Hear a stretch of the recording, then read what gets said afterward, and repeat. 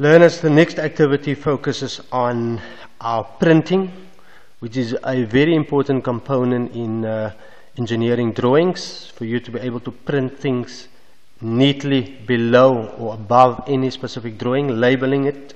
So in this activity, learners, I'm going to request that you fix your page to the board using your T-square.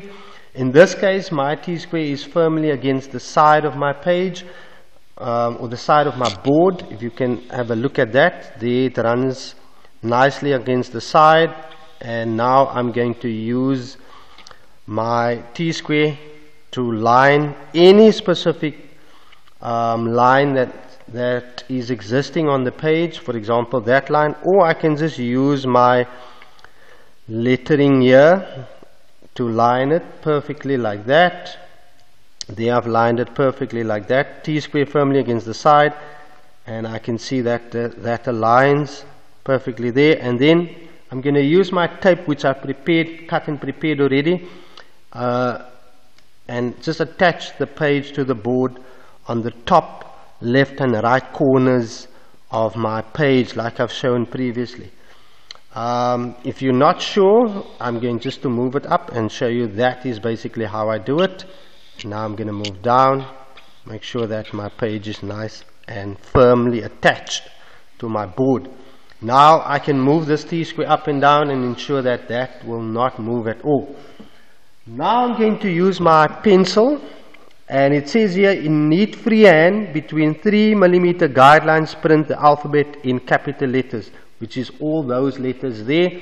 So what I'm going to do is anywhere in this space here I'm going to draw a faint line like that and then I'm going to use instead of 3 I'm going to use 5 millimeters. So there's my 5 millimeters and then I'm going to draw another line like that 5 millimeters and then I'm going to print all the letters of the alphabet in capital format in here and that's going to be dark so I'm going to print that A like that there and then B next to it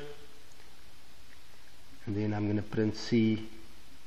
And so I'm going to carry on until I get to Z over there. Do it as neatly as possible. Then I'm going to go to my task 2 on here which is another uh, two faint lines. Instead of 3 I'm going to keep it 5 millimeters apart. I've measured the 5 I use my T-square firmly against my side to draw my lines and you can see my lines are nice and parallel.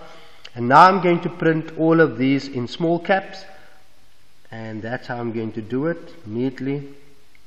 So we're going back to primary school. That is how I'm going to do that perfectly like that and I'm gonna have my E. Alright and so you're gonna carry forth until you get to Z over here again. Alright then lastly in task 3 again a line that I have here faintly anywhere away in that designated space and then 5 millimeters apart and then draw two lines parallel apart 5 millimeters and then I'm going to print the numbers. 1 then 2 as it is there 3 4 and I'm going to carry forth until I get to 0 over there. Okay and that concludes my printing um, exercise. And allows me to ensure that the next time I will be using it that is going to be the order of proceedings. Two 5 millimeter lines underneath a drawing to label it.